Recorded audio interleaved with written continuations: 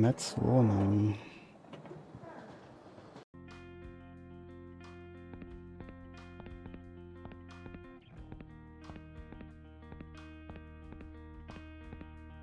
Ein Kind. Gott, ich hasse Kinder.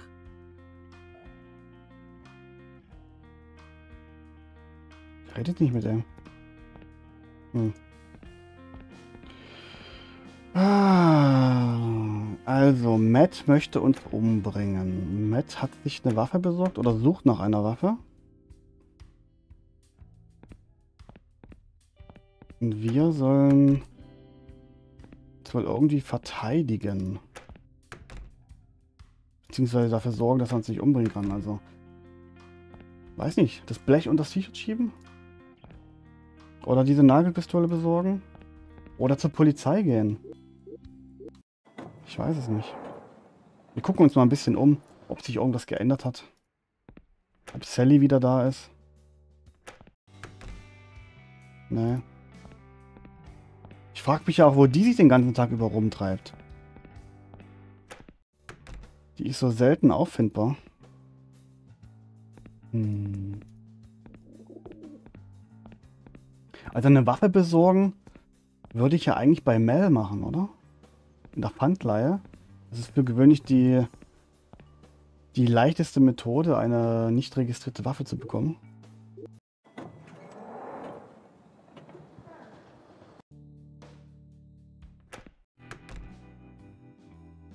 Hast du einen psychotischen Besoffenen mit einer Brille und einem Afro irgendwo gesehen? Keine Ahnung. Sprechender Briefkasten. Super. Mel? Hallo? Oh, hallo. Kann ich was für dich tun? Hat bei dir jemand heute eine Knarre gekauft? Ja, bin fast sicher. Weißt du noch, wer genau? Mhm. Hallo. Kann ich was für dich tun? Ja. Scheiße. Ich will eine Knarre kaufen und dich umnieten. Ja. Genau wie dieser andere Typ. Welcher andere Typ? Weißt du, wie er heißt? Glaube nicht. Der hat es eilig. Weißt du noch, wie er aussah? Woher soll ich das wissen? Kann mir nicht jeden Besoffenen merken, der eine Knarre bei mir kauft. Tja, Okay, besoffen. Was, Dann wenn war dich er's. jemand ausraubt? Ist noch nie passiert. Außer... Warte mal. Hm. Oh Mann. Ich werde ständig ausgeraubt. Ach, vergiss es. Erinnerst du dich an den Typen, der die Knarre gekauft hat? Mhm. Hallo. Kann ich was für dich tun? Der Typ mit der Knarre, verdammt nochmal. Wer war das? Ey, mach mich nicht an, ja? Hab schon gesagt, dass ich mir Gesichter nicht merken kann. Besonders besoffene Gesichter. Sehen für mich alle gleich aus. Aber Aber, wenn du mir ein bisschen auf die Sprünge hilfst, weiß nicht, wenn du was hättest, was mich an den Typen erinnert, kann ich dir vielleicht weiterhelfen. etwas, was an den, was ihn an den Typen erinnert. Sein Portemonnaie haben wir ja gar nicht mehr, ne? Wir haben einen Zeitungsartikel mit seinem Gesicht drauf. Ich bin doch hier nicht der Zeitungslieferer. Wir haben Zeitungsartikel mit seinem Gesicht drauf. Junge, stell dich doch nicht so dumm an. Theoretisch müsste das gelten. Guck mal hier. Gesicht. Diverse andere Artikel mit seinem Gesicht. Äh, irgendwas, was ihn an ihn erinnert. Also ein fetter Afro oder was? Oder eine Brille. Spinnst du? Ich habe schon mein Opfer ausgesucht. Hm. Ah, Mensch, du. Captain Red? Das gebe ich nicht weg. Nee, nee, nee, nee, nee. Das gebe ich nicht weg. Hm. Also ich wüsste nicht, was davon an Matt erinnern sollte.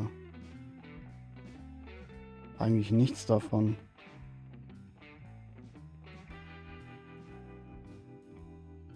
Nochmal zu seiner Wohnung zurückgehen? Oder vielleicht hat er was in der Kneipe oder sowas liegen gelassen. Hm.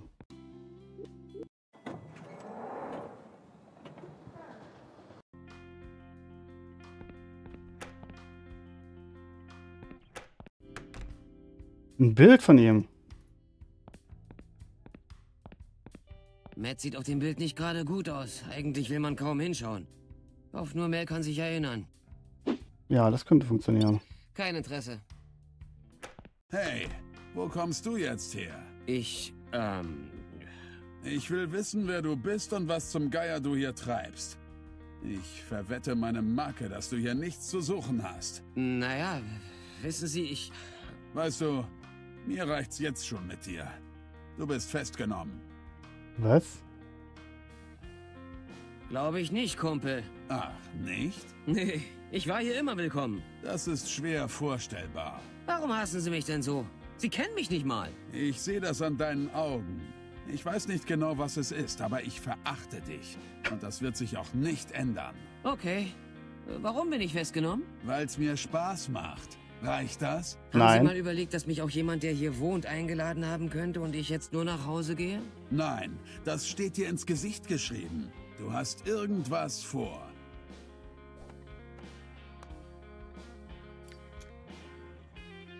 Okay, ich beweise es. Ich hole meinen Freund und er kann es Ihnen bestätigen. Du solltest mich lieber nicht verscheißern. Glaub mir, du willst keinen Ärger mit mir. Äh, natürlich, natürlich nicht.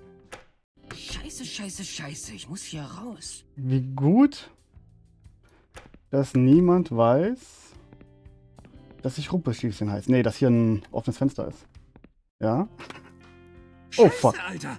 Wer zum Geier bist du? Und wo zum Geier kommst du her? Wir kriegen hier noch ein Herz, Kaspar. Ähm, weiß nicht. Ich. äh, Ich glaube, ich habe Gedächtnisverlust. Gedächtnisverlust, ja? Tja, hier ist leider abgesperrt. Du musst wohl warten, bis wir hier fertig sind. Oder bis dir wieder was einfällt. Was?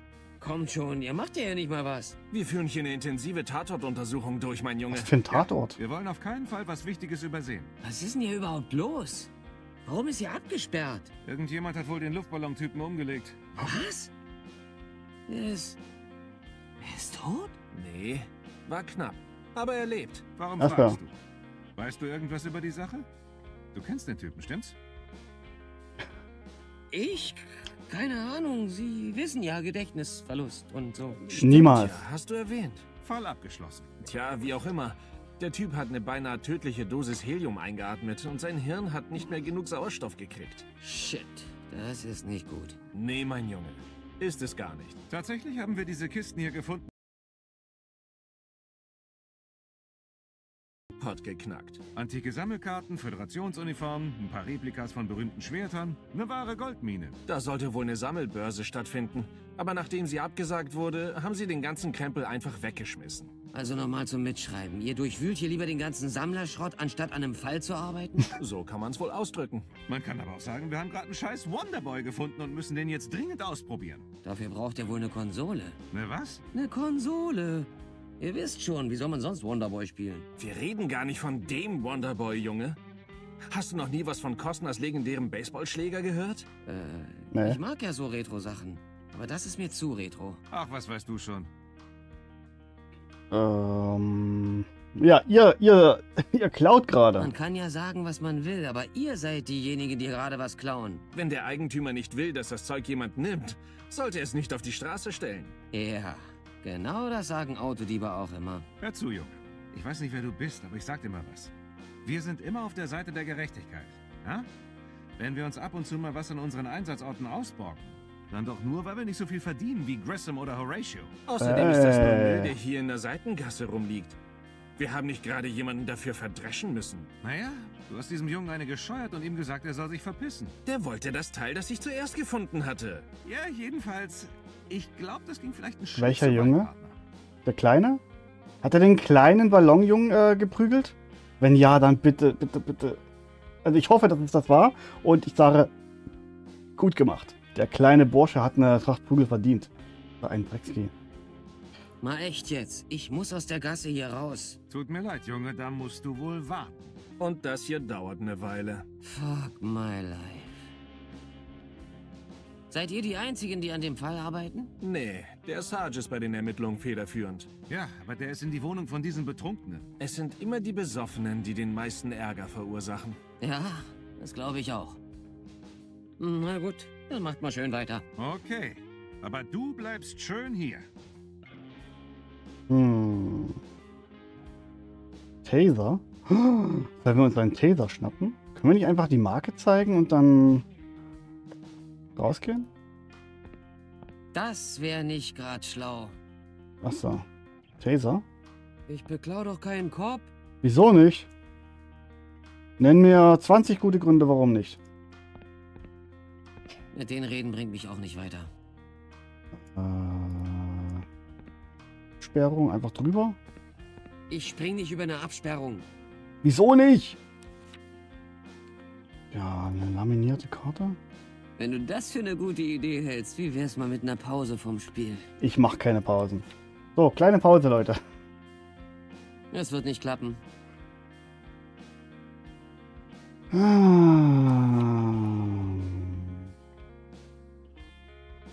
Jetzt kann ich was wir denen zeigen sollen. Ein Be Ach, ein Baseball. Hey, warum probiert ihr den Wonderbed nicht aus? Was schwebt dir vor? Weiß nicht. Kann einer von euch den Ball treffen? Ned, du hast schon seit Jahren keinen Baseballschläger mehr in der Hand gehabt. Du kommst ja nicht mal zu den Spielen gegen die Feuerwehr. Na und? Willst du sagen, dass ich es nicht mehr drauf hab? Sagen, Genau. Singen will ich's. Vierstimmig, wenn's sein muss. Es gibt nur einen Weg, das herauszufinden. Na dann lass jucken, Junge. Lass krachen. Und Strike. Shit.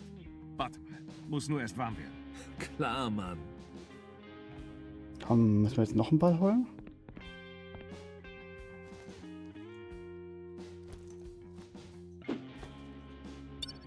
Okay.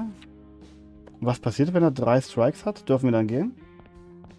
Okay, nächster Versuch. Du verschwendest deine Zeit, Junge. Halt die Klappe, Ted. Los doch. Zeig, was du drauf hast. Fertig?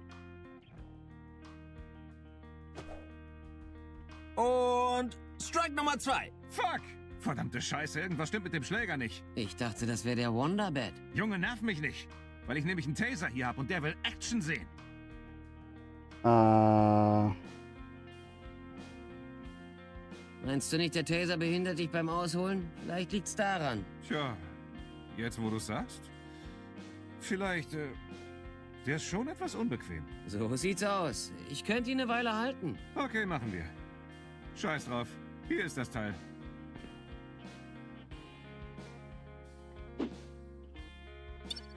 Hab dich. Was soll das Gekicher? Äh, nichts? Mir ist gerade nur ein Witz eingefallen. Junge, du bist nicht ganz sauber. Ja, das höre ich andauernd. äh. Sollen wir die jetzt tasern? Oder sollen wir weiterspielen? Willst du es nochmal probieren? Lass stecken, Junge. Du siehst doch, dass er nichts mit dem Baseballschläger drauf hat. Halt die Schnauze, Ted. Ich war zweiter Junior State Champ. Ja, das ist aber eine Weile her. Hey, nicht schwätzen, schlagen. Echt, ey. los. Bin bereit.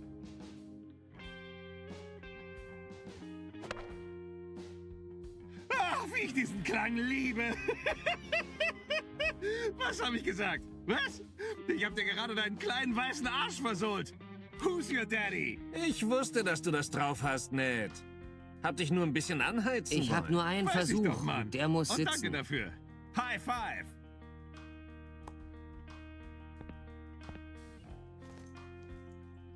Also jetzt in der Zeit, wo die den High Five machen, ne?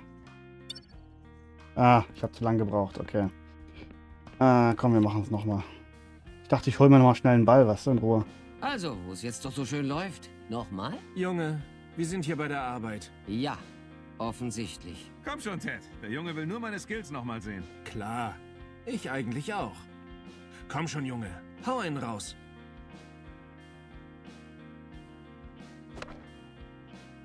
Das ist es doch. Mann, du hast eine Katze getroffen. Oder war das ein Koala?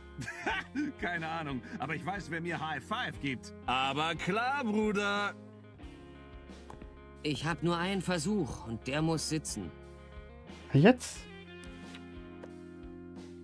Hä? Hä? Ich hab nur. Gerade in dem Moment, wo die sich die Hand geben. Das ist beide erwischt. Hä? Okay, dann sehe ich das doch noch irgendwie falsch.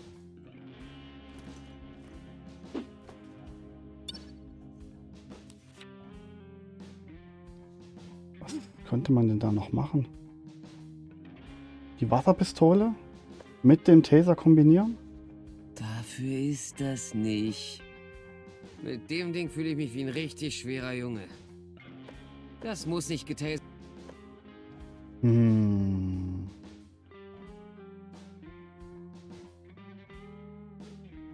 Das muss nicht getasert werden.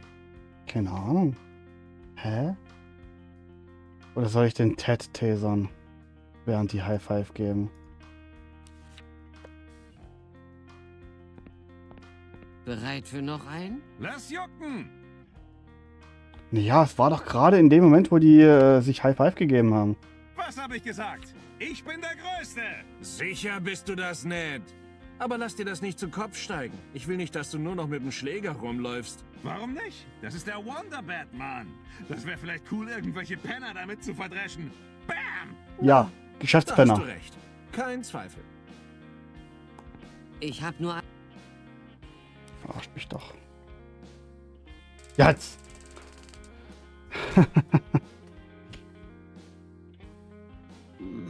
Hm, glaub nicht, dass es eine gute Idee ist, Cops zu tasern. Aber wie komme ich hier sonst weg? Ich hatte keine Wahl. Sie haben mich gezwungen. Daran sollte ich nicht rumspielen. Oh, der kleine Junge ist weg. Das Drecksbalg. So, was haben wir denn jetzt eigentlich gemacht? Äh, wir waren jetzt bei Matt und haben das Bild geholt, richtig. Das Bild. Aber wir, wir reiten uns gerade in eine ganz schön krasse Bredouille rein. Wir haben den Kramer verarscht, wir haben die, die Tatortanalytiker getasert. Wir, wir werden gesucht wegen der Affenaktion beim Psychiater. Eieiei. Das könnte noch problematisch werden. Ah. Hallo. Kann ich dir helfen? Ja, ich brauche eine Milch und eine Tüte Chips. Sofort, Kumpel. Warte mal. So Zeug habe ich gar nicht, oder? Schau dir mal das doch mal Foto an. dieses Foto an. Warum? Bist du ein Bulle? Ähm, das Zeug bei mir im Lager gehört nicht mehr. Schau dir einfach nur das scheiß Foto an, Mel. Hey, ich kenne den Typen. Endlich ein Fortschritt.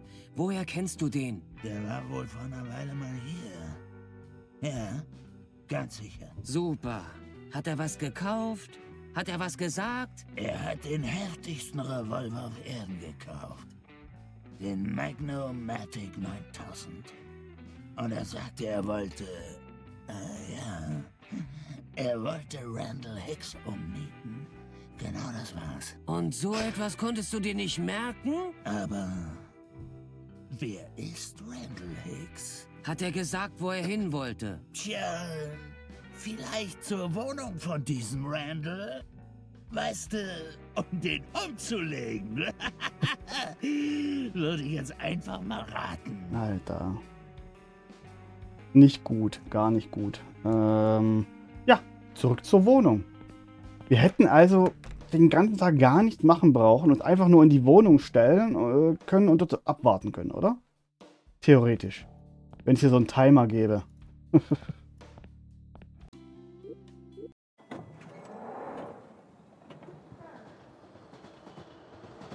Das Problem ist halt bloß, dass der uns jetzt ja immer noch abknallen will.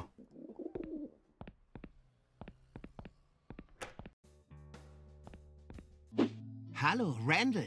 Ich bin's, Matt. Wie läuft's denn so bei der Zerstörung meines Lebens? Tja, ist ja auch egal. Wenn du das hier liest, bin ich schon tot. Zugegeben, wir hatten eine geile Zeit zusammen, obwohl du ein Idiot bist. Aber du warst immer mein bester Freund und wir kannten uns seit dem Sandkasten. Wir waren unzertrennlich. Dann kam Sally und es wurde sogar noch besser, bis du beschlossen hast, alles in die Scheiße zu reiten. Was zum Geier hat dich geritten, Mann? Du warst früher echt mal cool. PS? Ich hab gelogen. Bin gar nicht tot und warte mit ner Knarre auf dich auf dem Dach. Lass mich nicht zu lange warten. Ich hab hier sechs kleine Freunde, die allesamt schneller sind als du.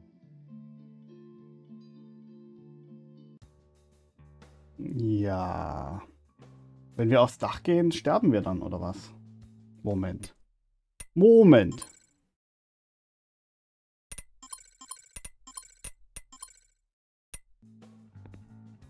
Wir gucken mal. Äh, endlich habe ich dich gefunden, Matt. Bitte, ich weiß, was du denkst, aber ich, ich muss dir das erklären. Ja, komm, wir gehen ein bisschen saufen. Sollen wir zu Claytons ein paar Biere zischen? Wir, wir könnten uns ein bisschen über Leben und Tod unterhalten. Du verdammtes Arschloch! Du hast mir Sally direkt vor meinen Augen ausgespannt. Und auch noch mit meinem eigenen Ring. Ich schieß dir die Rübe runter. Matt, es ist nicht, wie du denkst. Tu nichts, was du später bereuen wirst. Ich habe gar keine Zeit, das zu bereuen. Ich blas mir die Birne weg, gleich nachdem ich dich umgelegt habe. Oh. Ähm. Oh. Ja, ich kann euren Anblick zusammen nicht ertragen. Gott, wenn ich nur daran denke, wird mir kotzübel. Matt, komm schon. Ich, ich kenne dich doch. Wenn dir schlecht ist, liegt's nur am Alk. Warum reden wir nicht einfach über alles? Wie zwei gute Freunde. Du und ich. Zwei gute Freunde. Freunde? Du spinnst wohl. Ein Freund würde mir nie so etwas antun. Hat er recht. Niemals. Aber theoretisch hat er es ihm ja auch gar nicht angetan. Die haben. Die, der Ring hat die Vergangenheit umgeschrieben. Das war ich nicht selbst. Ich war von einem fiesen ektoplasmischen Wesen besessen. Randall, du kannst dich nicht immer mit derselben Geschichte rausreden. Nicht, dass du meinen Geburtstag vergessen hast und mir die Freundin ausgespannt hast. Mann, du bist echt das Letzte vom Letzten. Oh shit. Hatte ich die schon mal benutzt? Verdammt. Tja, du weißt ja, was Alkohol mit einem Gehirn anstellt. Nee, Junge. Blumenkübel aus dem Fenster werfen oder kleine Kinder fürs Leben zu traumatisieren ist eine Sache. Aber dem besten Freund die Freundin ausspannen? Da geht's um Gefühle, Randall. Gefühle! Weißt du überhaupt, was das ist? Nee, Matt, erklär mal. Du weißt, dass ich dich liebe, wenn du betrunken bist. Aber gerade fällt mir auf, dass du echt langweilig bist, wenn du betrunken bist und Liebeskummer hast. Hm, Denk doch mal nach. Was hätte ich denn davon, dir Sally auszuspannen? Du musst doch einsehen, dass das keinen Sinn ergibt. Ich kann gerade nicht klar denken. Ich will, dass alles ganz einfach nur vorbei ist. Du denkst nicht klar, Matt. Das tust du übrigens nie, aber du musst mir hier einfach vertrauen. Ja, klar. Wie bei dem Streich mit dem Bunsenbrenner im Föhn, ja? Ach komm, ich war von einem üblen ektoplasmischen Wesen besessen. Sicher warst du das. übles ektoplasmisches Wesen. Ach komm schon, Matt. Wir beide waren schon immer Freunde. Sollen wir uns das von irgendeiner so hergelaufenen Schlampe kaputt machen lassen? Nenn sie nicht Schlampe. Ich, ich meinte nur... Das ist mir scheißegal. Ich will's nicht wissen. So läuft das nicht. Hm. Matt, ich schwör dir, ich will gar nichts von Sally. Glaub mir. Tja, so sah das aber gar nicht aus, als du ihr meinen Ring gegeben hast und ihren Antrag gemacht hast. Und das war gerade mal gestern. Äh, ja, der Alkohol, der Alkohol Wir haben war's. gestern Abend alle zu viel gesoffen. Warum vergessen wir das nicht einfach? Ich erschieß mich einfach, so kann ich am besten vergessen. Hey, was sag ich da? Ich sollte lieber dich erschießen. Äh,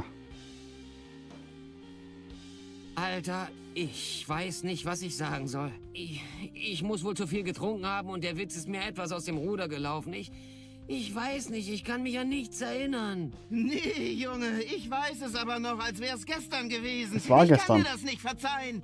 Wie soll ich bei jemand wie dir vernünftig bleiben? Ich hab mich Mann, geändert. ich hab mich geändert, ehrlich. Ich, ich weiß, es war nur ein Tag, aber ich bin ein komplett anderer Mensch. Am Arsch bist du. Ich blas mir die Rübe weg und du wirst es dein Leben lang auf dem Gewissen haben. Äh, ich dachte, du willst erstmal Randall erschießen. Matt, ich bin's, Randall. Ich habe kein Gewissen. Ich kenn dich gar nicht mehr, Mann. Mach dich bereit, ich blas dich jetzt weg. Nee, ich blas mich jetzt selbst weg. Könnte nicht mit der Schuld leben. Hör mir zu. Ach, komm schon, Matt, hör mir zu. Lass dir das erklären. Mm, Nee, lass ich nicht. Komm schon, Matt. Reden wir. Halten wir ein kleines Schwätzchen und, und danach kannst du mich ja immer noch umlegen. Oh, okay. Lass hören, was du zu sagen hast. Mm, Ich würde Sally niemals anbaggern. Bullshit. Ich glaub dir nicht. Mann, ich kann mich an gestern kein Stück erinnern. Du hast Sally mit meinem Ring einen Antrag gemacht. Direkt vor meiner Nase. Und sie hat Ja gesagt. warum hat sie Ja gesagt? Das macht Ja, gar keinen Sinn. Das macht mich genauso fertig wie dich. Ich schwöre, ich will's wieder gerade biegen. Und wie soll das bitte gehen? Ich rede mit Sally. Bevor oder nachdem du mit ihr ins Bett gehst? Um, dazwischen irgendwo? Ehrlich gesagt, ich weiß es auch nicht. Das soll's dann sein? Ich wünschte, ich könnte was anderes sagen, aber ich konnte Sachen noch nie richtig gut wieder gerade biegen. Weißt du, Randall, das ist alles ganz schön scheiße. Aber ich glaub dir. Also, was jetzt? Zuerst legst du vielleicht mal die Knarre weg, ja? Ich schwöre, ich will gar nichts von Sally. Mein Wort drauf. Nee, fuck. Ich gebe jetzt nicht nach. Ich hab was angefangen und das führe ich jetzt auch zu Ende. Gute Einstellung, ja. Ja. Ich gehe nirgends hin, bis das hier nicht ausgestanden ist. Tja, das wird dann auch egal sein, sobald die Knarre hier ihren Zweck erfüllt hat. Wow, das klang wie Eastwood mit einem bisschen Bronson. Matt, du weißt echt, wie man sich Respekt verschafft. Dafür kann ich die Zimalzahlen multiplizieren. Genug gequatscht. Irgendwelche letzten Worte? Oh Gott, so viel Text. Oh, der ist gut. Äh, von, von Truman Show. Guten Morgen! Und falls wir uns nicht nochmal sehen, guten Tag, guten Abend und gute Nacht. Ich. Ich kann's nicht. Verdammte Scheiße! Ist okay. Komm schon, Alter, nimm das Ding runter. Unterhalten wir uns ein bisschen. Oh.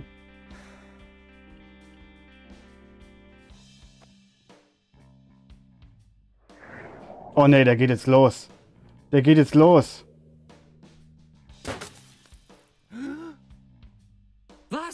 Nein, nein, nein, nein! Das darf doch nicht wahr sein! Nein! Stehen geblieben. Keine Bewegung, Penner. Dein Arsch gehört mir. Was zum Geier machen Sie denn hier? Und warum beleidigen mich immer alle, die eine Knarre auf mich richten? Randall Hicks, Sie sind verhaftet. Was? Wieso? Warum? Wegen des Mordes an Matthew Griffin. Oder willst du das etwa Da sind keine Fingerabdrücke auf der Waffe von ihm. Wissen Sie was? Machen Sie doch, was Sie wollen. Ich würde sagen, checken Sie erstmal Fingerabdrücke.